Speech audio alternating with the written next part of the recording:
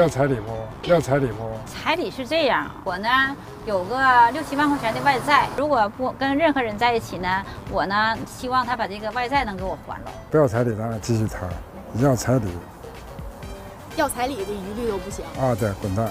时髦大妈来相亲，张口就跟老头要六七万彩礼，气得大爷当场就小嘴抹了蜜。今天的相亲可太劲爆了，答应我一定要看到最后。是不是迟宝强迟叔啊？哎呀，你好啊，叔。迟大爷今年六十三，有房有车有的穿，每月劳保三千一，专治各种吹牛逼。别看大爷长得帅，离婚二十多年都没人爱。为了尽快脱单，大爷一次性报名了多档相亲节目。别问，问就是小王八搬家憋不住了。我在那明天去录像，我去录像，录啥像？就是相亲相爱啊。相亲相爱是黑龙江的那个相亲节目是吧？对对对啊，也报名那个了，然后也报名我们节目了。对他明天十二点半，儿子叫我去。看来这为了找老伴儿，找好几个相亲平台呀，这是。找了一辈子也没找着。光撒网多捞鱼，恨不得直接去挖渠。蓉蓉月照我心，找个老太抱着亲。大爷那是蚂蚁的腿，蜜蜂的嘴根本闲不住。他找老伴的原则就一条，鱼过千层网，网网都有鱼。未来必有一条大锦鲤会落到他网里。这你自己写的？啊，啊这是我写的，这是去年写的，往哪儿写呀？放在哪儿啊？这个《工人日报》要报纸啊？啊，你通过这么多平台呢？对啊，那你这是媒媒体嘛？靠私人现在都不可靠了，你介绍所也骗人，你上个手机上去找也骗人。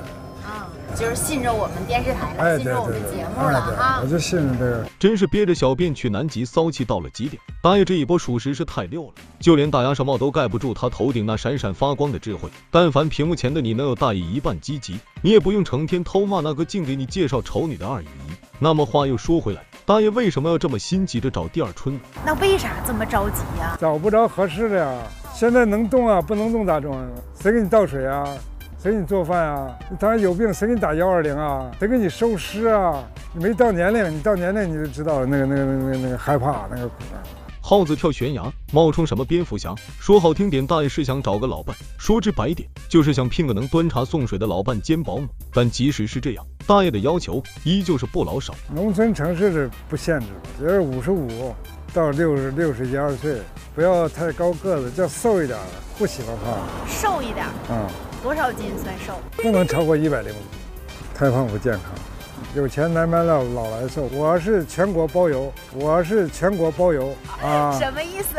我可以去他家住，他可以来我家住。全国都可以。哎，对，年纪最好五十五，精通家务，性别母，身材苗条，长得瘦，我就带你去吃肉。大爷啊，不能因为你姓直，就真把自己当唐僧了。那女儿国国王还有点婴儿肥呢。而在听完大爷的择偶要求后，小红娘立刻就展开筛选，最后发现眼前这位姓周的大妈哪哪都合适。周丽娟，周姨是不？哎呀，周大妈今年五十八，身材美貌一把抓，体重一百零五斤，气质有点像那英。就大妈这颜值，鲁智深见了直接跑去当主持，哪个老头见了不迷糊？多的不说，少的不唠，赶紧安排二人见面。你好，啊，你好，你好，你好，啊，你好。啊，身材很好，第一印象吧，没细看的时候吧，离远看还行，但是仔细一看就觉得六十三，挺老，长得挺着急。真是苍蝇叮菩萨，有点没人味啊！仅仅只是和大爷碰了一面，大妈就吐槽对方长得老，也不知道大妈家里缺不缺镜子。五十步笑百步，纯纯多余了哈。我是咋啥情况呢？我家老伴儿去世的，嗯去世快三年了，我没有劳保，我的医保呢就是农村合作医疗，也没有什么存款，有房子有地，嗯，都是在农村。说白了，大妈也算是个正儿八经的三无选手。这边大妈正哇哇有劲的介绍自己的情况，那边大爷的脑子却如同小铁勺喂母猪，根本不够用。于是他直接从包里掏出一本笔记本，做起了快速听写。我看看，我看记记啥呀？这是你哪个区啊？啊，双阳区双阳区。体重多少啊？体重多少啊？哎，一百零五斤吧。人瘦点好，那有钱难买老来瘦。好记性不如烂笔头，找媳妇就得靠笔油。听着大妈的阐述，大大爷那是老太太学认字玩命的写，生怕记漏了其中一条信息，就没法跟鱼塘里的其他老鱼做对比了。你是怕记不住啊，还是咋回事儿？就是怕记不住。也没唠啥，就这种点儿基本情况还记不住吗？有时候好多人给我打电话，啊啊，别的你都给我打电话，能记住吗？你就怕弄混了呗。哎，对。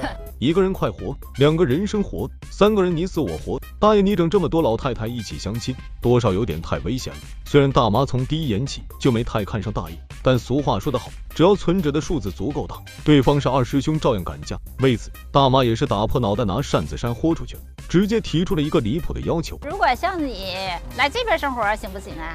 来这生活，你你家有房子吗？我没有房子，这边要买房子吧也挺便宜的，就是像买个两室一厅的房子，也就二十万左右，是十多万块钱，二二十万块钱基本上就能买个房子。我滴个苍天啊！大妈，你是会呼风还是会唤雨？给你一口大鼎，你敢不敢举？你是有三头还是有六臂？听你说话，我咋一肚子气？张口就是二十万房子，麻将牌顶天也才九万呢。大妈，这说的不是人话，是神话。不可能，接受不了。嗯，对，我不可能，我不可能在山上生活。为啥？你不刚才全国包邮吗？对呀，可以，我我也根据自己实际水平啊。经济情况。啊，那不那钱不能都花到那上，那要花到将来你有大病的时候，你老的时候需要人的时候，需要找保姆的时候。听完大妈的要求，大爷的脸直接黑成了煤油。而见此情形，大妈也是赶紧为自己找补起来。就说让在这边买房子呢，只是我顺带问的，这个不是主要，这也不是必必须的，不是必须的。士为知己者装死，女为悦己者整容。见到大妈这么快就改口，大爷的态度也瞬间柔和不少。接下来就到了老铁们最爱的谈彩礼环节了。要彩礼不？要彩礼不？彩礼是这样，我。前夫那个，因为他是食道癌去世的，病了将近三年的时间。我呢有个六七万块钱的外债，这个外债呢我不想让儿子还，就是如果不跟任何人在一起呢，我呢希望他把这个外债能给我还了。大妈，你提的条件都快赶上二十多岁的小姑娘，那后腿肉才多少钱一斤？人家大爷凭啥给你还那大几万的饥荒啊？是凭你会幻想，还是凭你真敢讲？而在听完大妈提出的要求后，大爷那是寄居蟹搬家，实在绷不住了。他有外债要还，跟你说那一百个九十九个都不成，少废话，跟这人说少废话，不要彩礼，咱俩继续谈，要彩礼。要彩礼的一律都不行啊！对，滚蛋！这不是真正找找人过日子。钱是一味良药，具有让人明目张胆的功效。大爷不给钱不要紧，但骂人就有点掉价了哈。眼看着大妈是白娘子和雄黄酒露出真面目，大爷索性摊牌了，飞流直下三千尺，送你一张再见纸。你这个恕我直言啊，嗯，你这个事儿不太好办。嗯，东北有人跟你说直直爽，有啥说啥，别别耽误人家事儿。他也别耽误我事儿，行，明白吧？啊，行，那个，那你我知道了啊。这他这是就我这种这种状况呢，他办不了。节目最后，二人的相亲还是以八比 Q 告终。那么，对于本期的这对男女嘉宾，老铁们又有怎样的看法呢？欢迎评论区留言讨论，咱们下期见。